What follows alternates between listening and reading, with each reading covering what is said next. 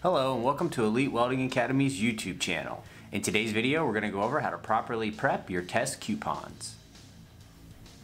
So here on the table I have some examples of some of the more common weld tests in the piping industry and as you can see I already have them marked up to be cut out so let's do that and we'll get to the next step. Now when it comes to prepping your coupons for a bend test, you have to make sure that you're using the proper grinding wheels and cutting disc for what the task requires. Here's an example of a cutoff disc, commonly referred to as a whiz wheel. This is the thinnest disc that comes in your kit, and this is what we'll use to cut out our coupons. Make sure before you do any cutting or grinding that you secure your coupon to your table or in a vise like I am here. Notice I'm cutting from top to bottom and all the sparks are being shot towards the floor. You can very easily catch your clothes on fire if you're not paying attention to where your sparks are being shot. Okay, so here I have all my test strips cut out, and as you can see, some of them I use an oxyacetylene torch to cut them out, and we will go over that in another video. But as you can tell, we still have to flush out the roots and the caps, so let's go over the specific grinding disc for that task. First up is the 4.5 inch by quarter inch grinding disc. This is the thickest disc in your kit. As you see here, I've secured my test strip in a vise. I'm grinding off the root and the cap, shooting the sparks at the floor, and notice I'm wearing all the proper PPE. Now once you've ground off the root and the cap, the coupon should look like this. The key things I want to point out here is that I've flushed it out with the base metal. I haven't thinned it out in the center section where the weld is, but now we're going to get into the final step, and that's the polishing. Now this disc here is commonly referred to as a tiger paw, but basically as you can tell, it's just a big sanding disc. Now the goal with this disc isn't really to remove too much material, it's simply for the final polishing of the coupon, so when we do put it through the bender, we can evaluate the results a little bit better. Here's an example of what a finished polished coupon should look like. Now that we've gone over how to properly prep your test strips, let's go over each individual test strip and what makes them unique. So starting on the left, we have the 6 inch Schedule 80 pipe that's being prepped for side bends.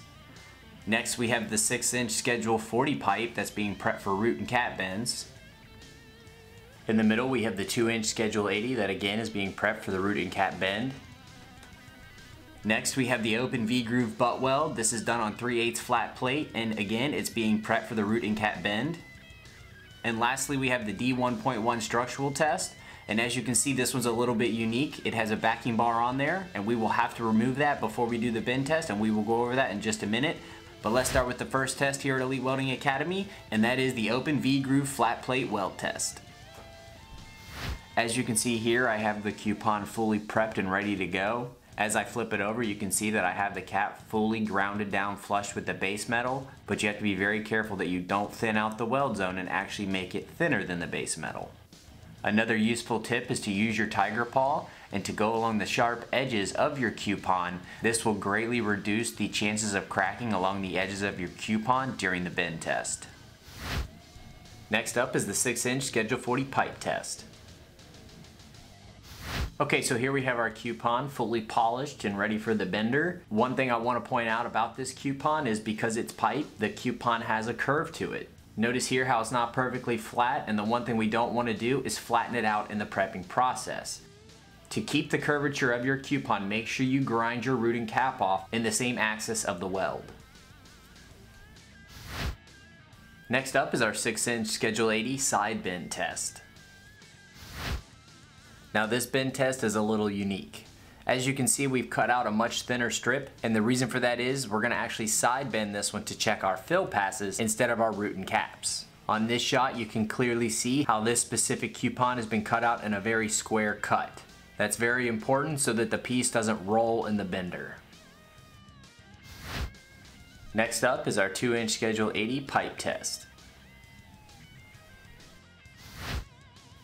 As you can tell, I have this coupon fully prepped and ready for the bender, but a few things I want to point out.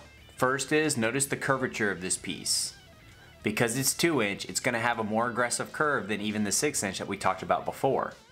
Make sure when you're grinding and polishing the root side, use your grinder and go in the axis of the weld, don't go across the weld. Okay, so last up we have our D1.1 structural bend test. Okay, so here I have my test strip fully prepped and ready to go. As you can see here, we have two examples of the D1.1 coupon. The one on the right still has the backing bar on there. The one on the left already has the backing bar removed and ground flush. In order to remove the backing bar, we typically use the oxyacetylene torch to remove several layers of that backing bar.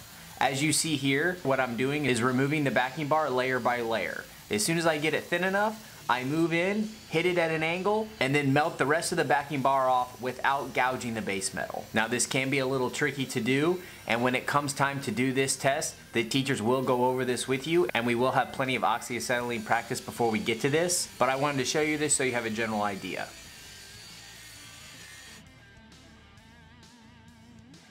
So there's a brief tutorial about how you're supposed to prep all your bend tests here while you're Elite Welding Academy. Again, if you have any questions, don't hesitate to come get a teacher, but just make sure you treat every practice test as if it's a real weld test.